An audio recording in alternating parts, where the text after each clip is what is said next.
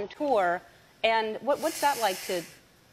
That was a little rough, just because I was ill um, that entire tour, and I couldn't do anything about it, and I had to fly. I actually had two days off at one point, and after four weeks, I had to fly back and get an endoscopy where they stick a camera down your throat and look in your stomach.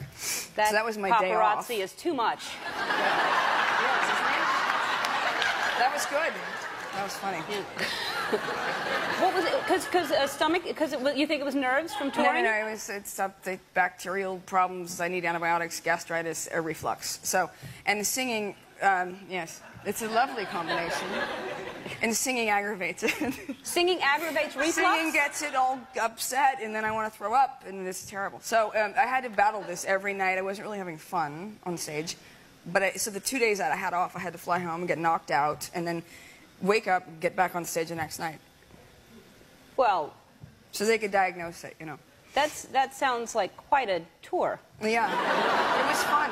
So there's singing and throwing up Yeah, involved.